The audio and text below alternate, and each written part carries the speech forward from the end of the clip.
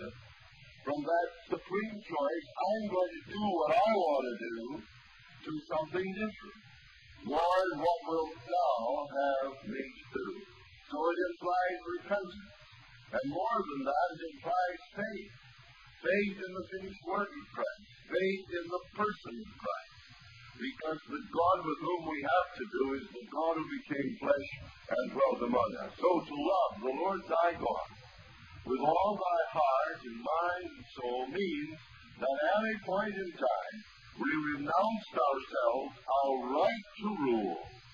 We said this with this we are through. We renounced the God whose, whose minions and servants we were, the God of this world, and committed ourselves to Jesus Christ, receiving him as Lord and as Savior, believing on him. And in so doing, there then is the evidence that we have, we must have a genuineness in this. And so we move on to the next verse.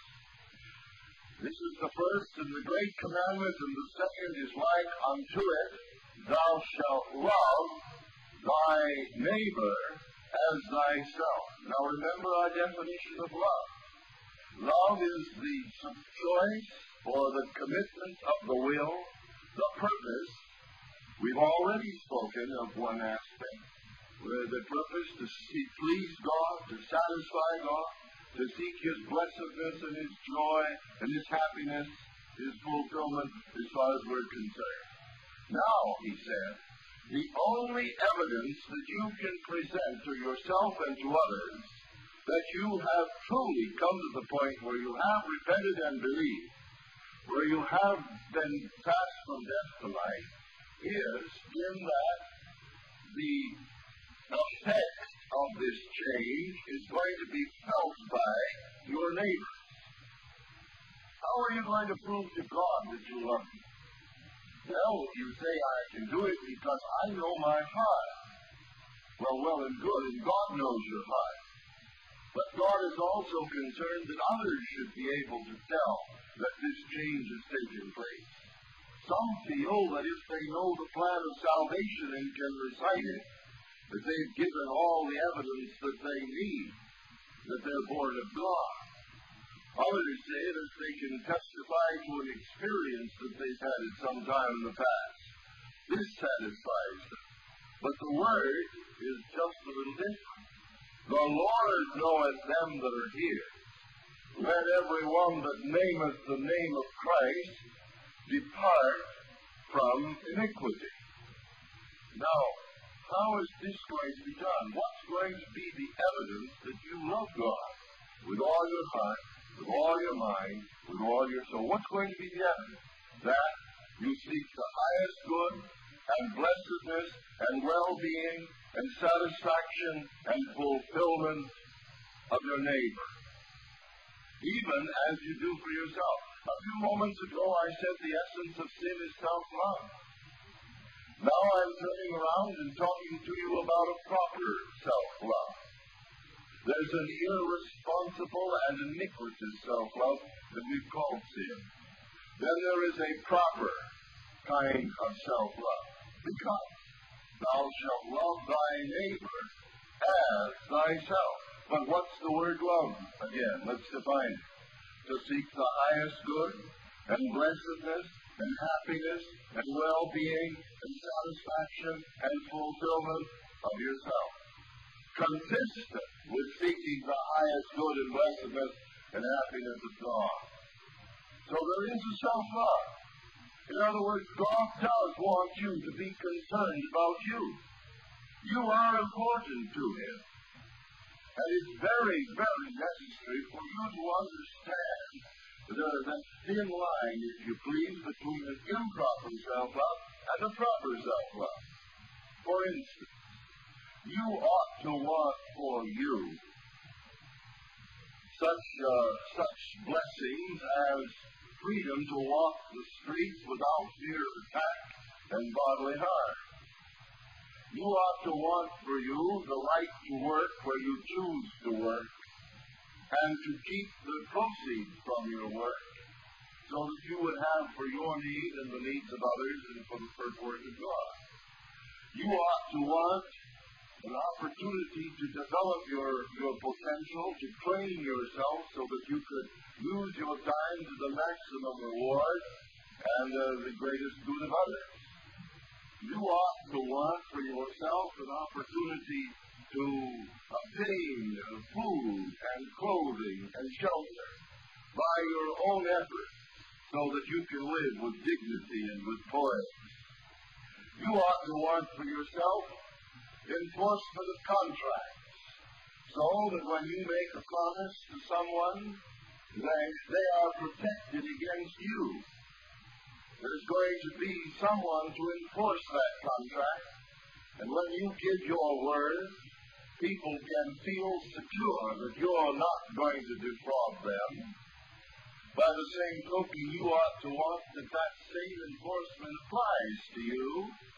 And when someone gives their word to you, that society in general, realizing that so much of our, our commerce and our life depends upon promises that people make, that these promises will be enforced and we will be protected from each other.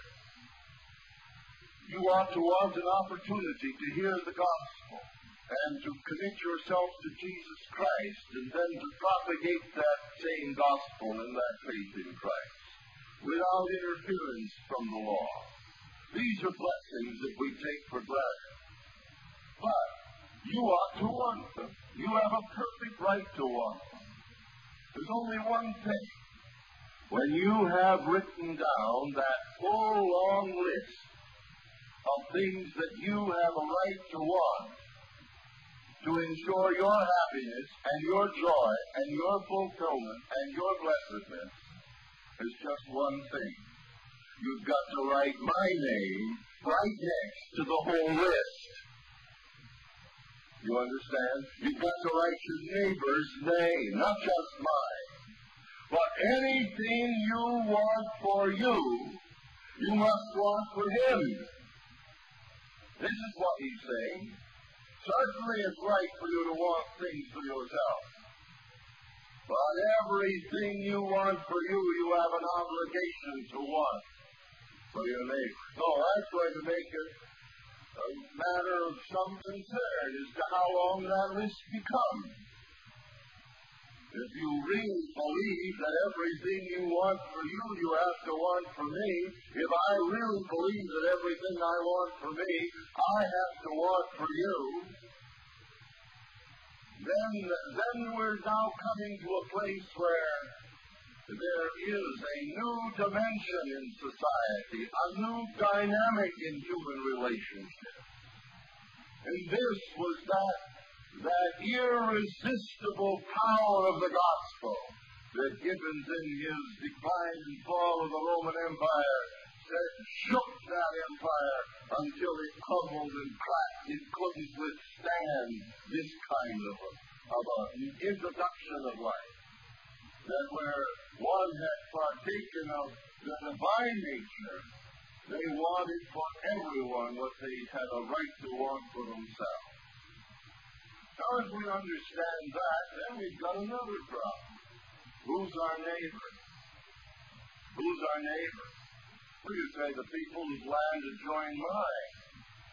Well, that's interesting. I was down, my brother is, is Miller, has a flour mill down in South Carolina, and I went out one day to talk with an old farmer. He said, you know, my, my daddy, he wasn't greedy, none at all. He just wanted all the land that was right next to his. Well, that gets to be a pretty, pretty big piece if you keep at it long enough. Who's your neighbor? Who's your neighbor? Well, I guess you could say it's the one whose land is right next to yours, but I don't think that's an adequate definition. I think that we've got a whole new, whole new theme for us. You know, when that television set came along, they kind of snuck up on us. And uh, it was a long time before we realized what uh, Marshall McLuhan said in his book, Understanding Media. You don't have it, you see it on a pocketbook rack sometimes, especially you preachers and you missionaries more particularly, you better buy it. He says, Dr. McLuhan says, the media is the message. He says the most important thing about television isn't what you see on it, but the fact that it's there. That you can see instantly around the world during the recent uh, World Cup soccer matches. More people watch those soccer matches at the same instant than have ever watched any other event in human history because it was beamed by satellite around the world. It was not just the company gathered in the large stadiums in Europe. It was all the other multitudes around the world that saw. The, the media is the message. The impact of that, I think, for me, was brought home on Christmas Eve in December of 68. You recall our astronauts were in the in the capsule and going around the back side of the moon for one of the first time.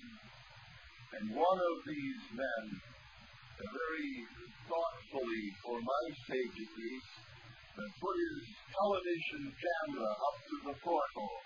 They were in just such a posture that through that little porthole, they could see the dead, dark, vast uh, wasteland of the moon landscape.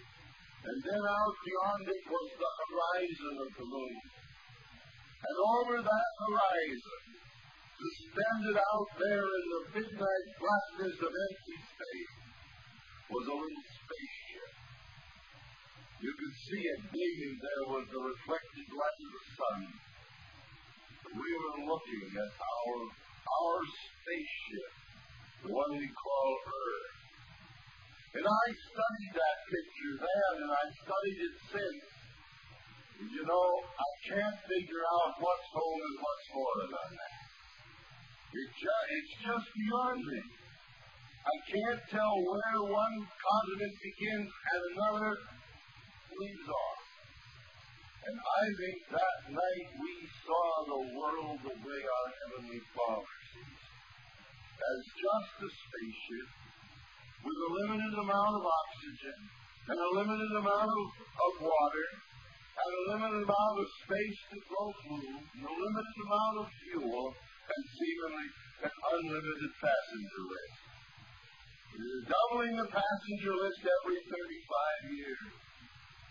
When Christ said, Go into all the world and preach the gospel to every creature, they should have run right out and done it because that was the easiest time to do it. There were only about 150 million people in the whole world then. At 650 AD, it got up around 250 million. And 1650 AD, it got up to 500 million. You see, in those days it took a thousand years for the, for the passenger list to double. But in 1650, things began to change. It only took 200 years to go from 500 million to 1 billion, 1,000 million. Now, that occurred in 1850. 1850, we had 1 billion neighbors. But then, in 1850, things were really changing. Colonial governments had put down intertribal warfare, introduced some measure of health, and from that time on, medical knowledge began to double about every 10 years, so it only took 80 years to go from 1 billion to 2 billion. 1930. But by 1930, medical knowledge was doubling about every five years. And so in nine, took 26 years to add another billion. It took until 1850 from the beginning of time to get the first one. It only took 26 years to get the third one. 1930 to 1956. But by 1956, world we found out the world population was doubling every 30 to 32 years. Now you want to take that, just go into that, will you? Take 32 to 56 and you come up around the year uh, 1990, and there'll be six billion, and by the year 2000, there'll be seven to seven and a half billion. Let's say seven and a half. And by the year 230, there's going to be 15 billion, and let's take it once more. Hold on to the seat in front of you, will you? By the year 260, there'll be about uh, 30 billion people. You want to go once more? I haven't got the there. But the astounding thing is that demographers tell us there's not much chance of that rate of population growth deaccelerating until around 2060, 2060 years. So it looks like we're going to have an awful lot of people on this little globe, this little passenger plane that we're in, this spaceship we call Earth and they're all neighbors of yours. That's right, they're all your neighbors. Now, one of the astounding things that we have to face is that we've known for a long time that we had to carry the gospel to every creature because He told us. He said, Go and preach the gospel to every creature. But you know, it gets to be a little bit sticky and a little bit difficult when he says, Thou shalt love thy neighbor as thyself. Thou shalt seek his blessedness and happiness and joy and satisfaction and fulfillment and well being, even as you do your own. That whatever you want for you, you've got to want for your neighbors wherever they are. Your fellow passenger gets to be a problem, it? Well, that gives you the scope of the implications of this. Now let's go and make it very practical, shall we? If we've said to love our neighbor means that we seek his highest good and blessedness and well-being, what does it mean not to love him? Well, I have asked you to turn to Ephesians chapter 4, and I'm suggesting we begin our reading here with verse 17 because it's going to help us to understand this. Paul has just given this wonderful testimony that he's given that, that the Lord Jesus has given evangelists and pastors and teachers for the perfecting of the saints into the work of the ministry until the work of the ministry is witnessing. We're all part of this this task grew forth of the Lord Jesus to get the gospel out to all of our neighbors. And he said that we are to be built up into a, an edifice or a building that Christ is going to occupy. And then in verse 17 he changes a little. I say then therefore and testify in the Lord that you don't preach your neighbors the way other pagans do. You don't walk as the, the heathen do. In the vanity of the mind, having the understanding darkened, being alienated from the life of God because of the ignorance of the demon, because of the blindness of their heart. No. Those that love God with all their hearts and minds and souls and love their neighbors as themselves are therefore going to be unable to take advantage of someone. A young missionary from Peru told me that a woman said to him, I'd like to sell you my father. And he said, he said, I can't do that. I love you too much. And, and she didn't know what he meant. And somebody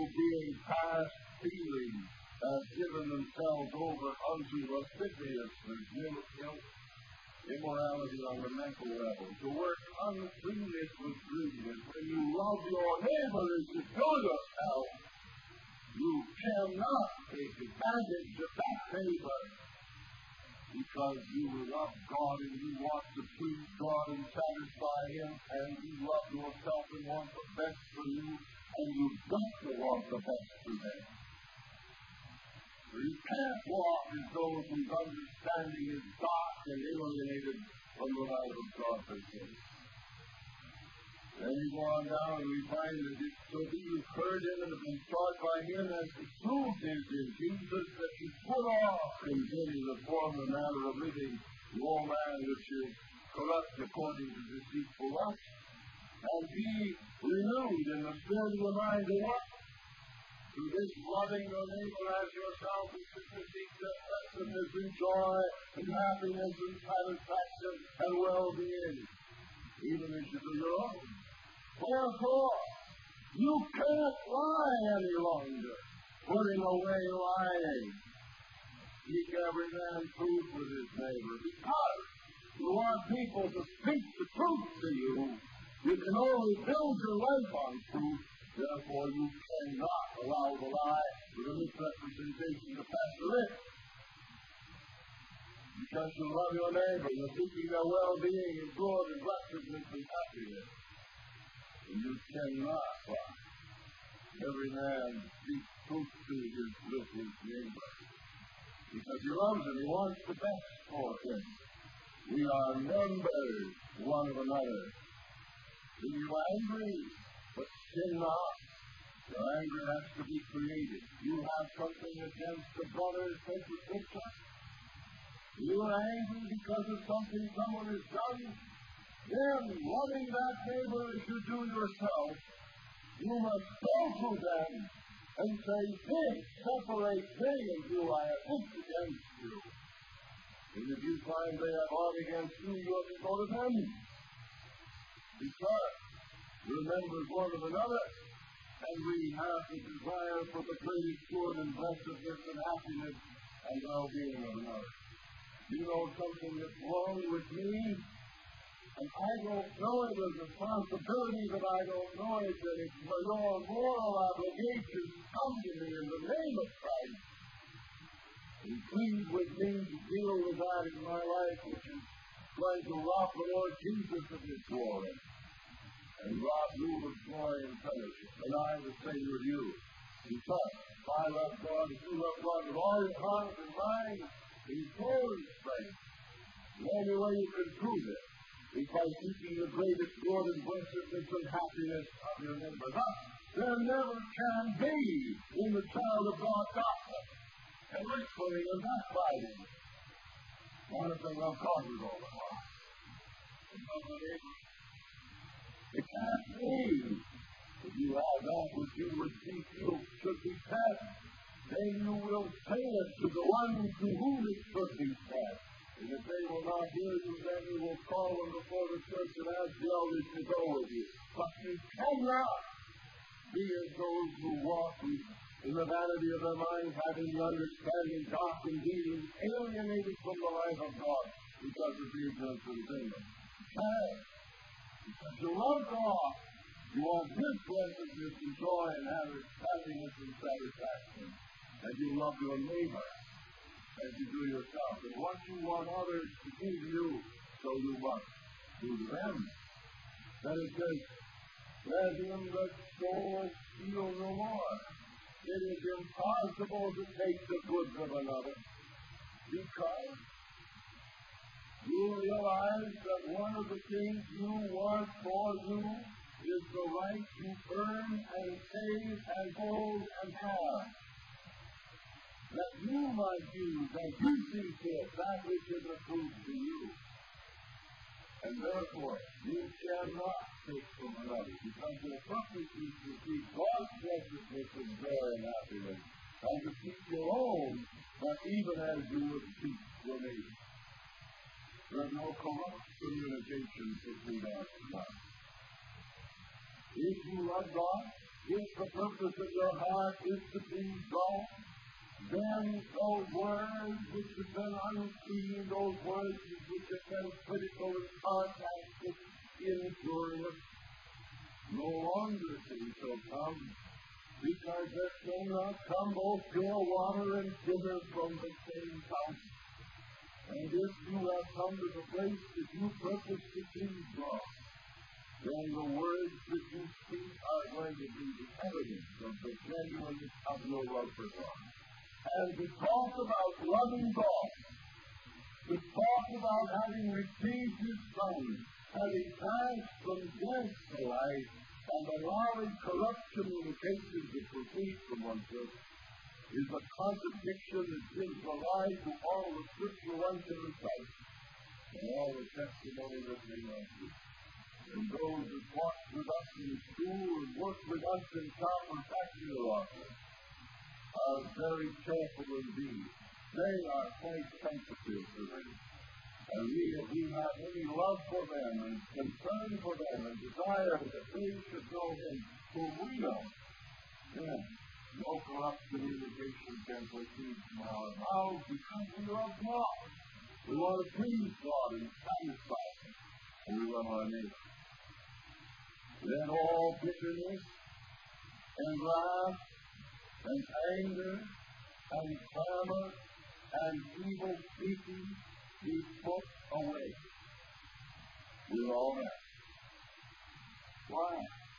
Because we love God. Our purpose is to please God, to keep His joy in us, His blessedness as far as we're concerned, His satisfaction, His happiness. And therefore, we love ourselves. We want this kind of a relationship with others. We don't want others to be bitter with us, and wrathful with us, and angry with us, and clamorous, and evil speaking as far as we're concerned. And consequently, the evidence of the genuineness of our love for God is that we do not permit in our lives bitterness, wrath, anger, clamor, and evil speaking. We put it away with all malice. Therefore, as the children of God, we walk in love. What does that mean? Our daily walk to seek the happiness and joy and well-being ourselves, prophets, and of our neighbors. And as Christ has loved us and brought our blessedness and joy and happiness and well-being by giving himself over as an offering to God, even so we would walk you out. Therefore, fornication and uncleanness and covetousness cannot once be named in our life as become a sin. Because we love God. Because our purpose is to keep His joy and blessedness and satisfaction. We love our neighbors. And we cannot, therefore, deprive them of their rights. We cannot indulge in filthiness, nor foolish talking, nor blasphemy. But we know that anyone that is a whoremonger, nor an unclean person, nor an ice covetous man, certainly gives the lie when he says that he loves God, or that he's partaken of the divine nature. Let no man deceive you with vain words. Don't let anyone con you. If you love God, if you love God, then you will love your neighbor. If you don't love your neighbor, there's every reason for you to be suspicious as to whether or not you do love. If you are committed to keep the blessedness and joy and happiness and well-being of God at the end of your being, whether in heaven, your keeping the blessedness and joy and happiness and well-being of yourself and your neighbor. Therefore, that scripture says be on these two commandments hang all the law and the prophets, rightly understanding what it means to love God gives to us the testimony as to the nature of the new birth, the impartation of divine life, the partaking of the divine nature, the manifestation of that the love that we have for ourselves, wanting the best for ourselves and desire in complete conformity to all of our commitment to keep God's joy living, not to keep the well-being of our neighbor. Now, if you understand, when you understand why there is Israel, there is great command to be understood and to be accepted by, to be know from, to be free from. Then let me ask, who is the thing? First question, do you know that you are saved? And the answer to that has to be yes. But do you know what sin is? Sin is not something you've Sin is the committal of your will to the principle and the policy and the practice of pleasing yourself without regard for the will of God the rights of others. Now, the other thing was sin, the event, the event, the deed. These were the items. But the crime is the committal of the will to please ourselves. I will do what I want to do. And then again, when we're living down in the land of Florida. I came out of a study where I've been preparing to go on an evangelistic Bible ministry trip several weeks. And as I came from my study, I looked down and saw my little daughter, then four, now she's uh, married woman, teacher, and, uh, and the joy of what she was. But then she was just like four. As you walked into the dining room and looked around and she was bored and she didn't know what to do. And her mother had a fan, a large blue fan on the floor. And Sarah walked over and she looked at it and she put it and she it back. And then she reached over and she pulled off a pulled it right off. And of standing back there, she just Lord, I was too late to put the leaf back on the stock. I don't know what the Lord is going to do. So my sweet little daughter looked much like me when you saw her, she called her sweet bird beast, you know. She, uh, she, she took that leaf and she tore it in two. She took that. She it in the hole and she put the two pieces together and then she tore them e eu tivesse de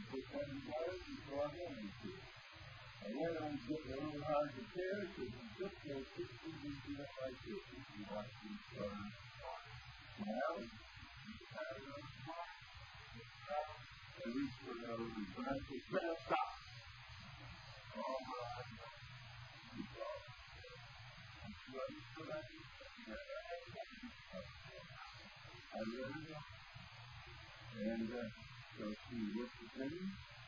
and she put a little thing up, and she put a little barefoot down in the floor. And she started out with it. I said, Sarah, I told you to stop. And she looked at me, and I was close to her by this time. And she said it well. And she turned her face right up and she looked at me, and she turned me around. And she said, I won't. Well, she did because I got to the root of the problem immediately. And turned her over in my lap and paddled it. And of course, I understood what it was. You see, she'd been playing in front of the deacon show, and she picked it up. That's where all the problems came from. That's why are just that way. So. And, and so here, here's my little daughter, putting her foot down, staring her daddy in the face, and saying, I won't. Now that's a picture. That's a picture. Looking into the face of Almighty God, who said, Look, I made you, I know all about you, and I've given you a proper way to satisfy every appetite. Now go work with me and cooperate with me. I love you, but I love all the others, and I will not allow you to gratify yourself at the expense of others. If you will just cooperate with me, I will bless you. But if you don't, I'm going to turn you up and saddle you good.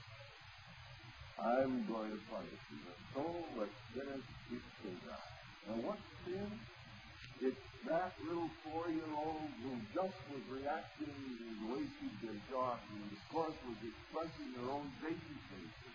Coming to the age of accountability when she knew precisely what was involved, saying to God, I won't let you rule my life. I won't let you tell me how to use my time. I won't let you tell me what to do with my body. I'll do what I want to do.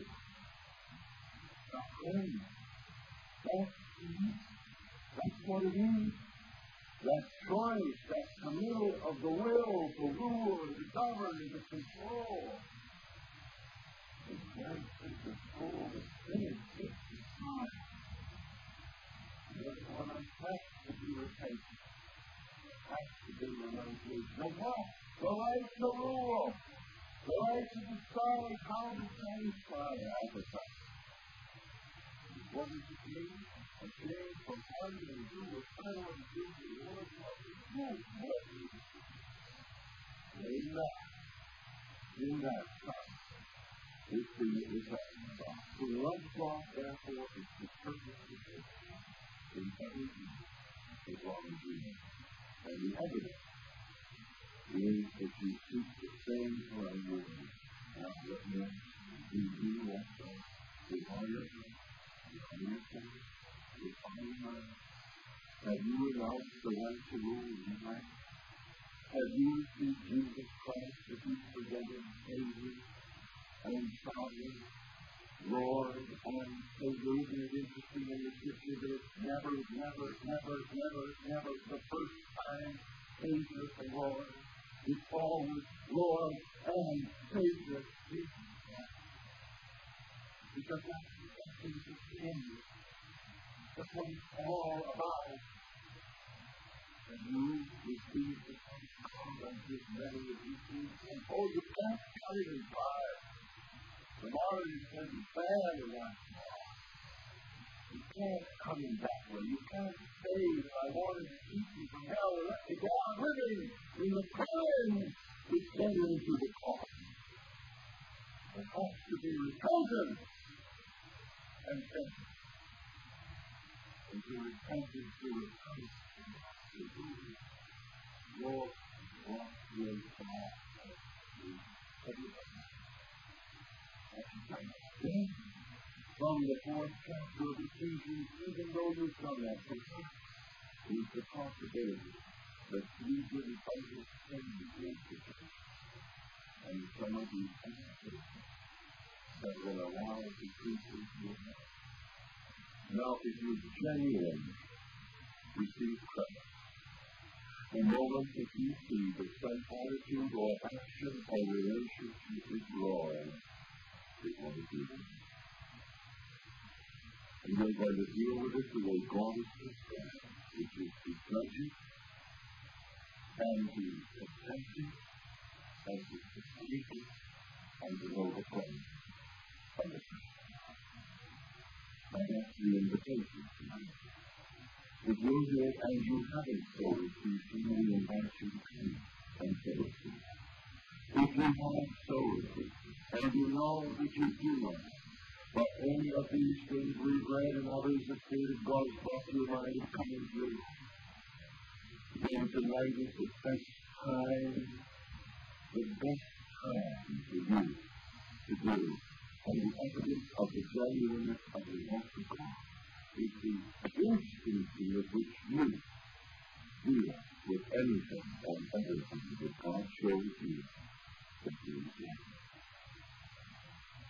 because if you have it, if you, you to, you want to, you to glorify and please Him. Last night, there were three people that had come to house. Not one word was mentioned about the reason for their coming. And I'm not going to say what it is. There was neither here one next to the other. We were all here for that same purpose. God has spoken to them. I have not said it any more than I have said it to you. The Spirit God spoken. God has spoken to you about anything in your life,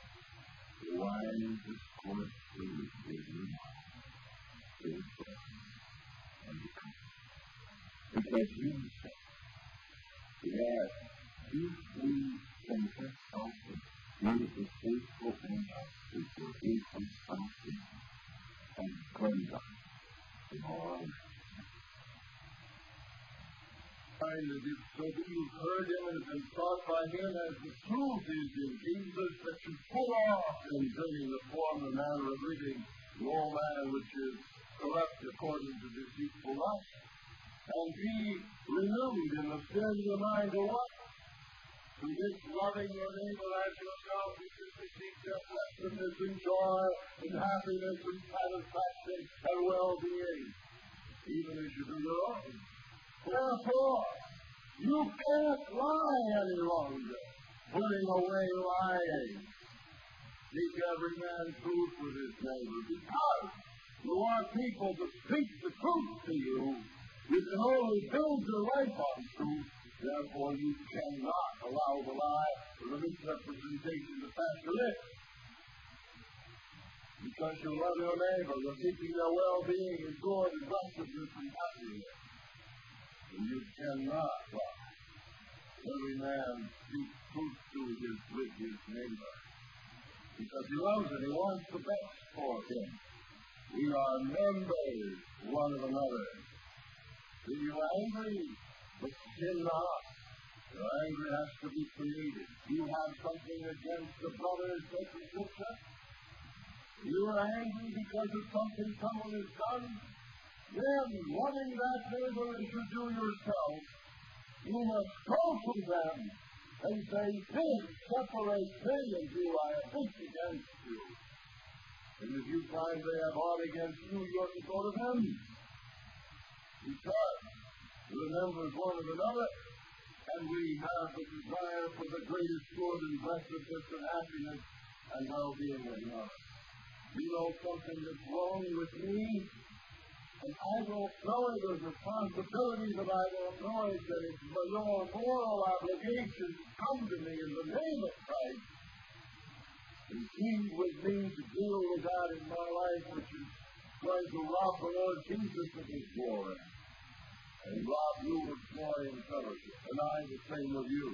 Because I love God, you love God with all your heart and mind and soul and strength.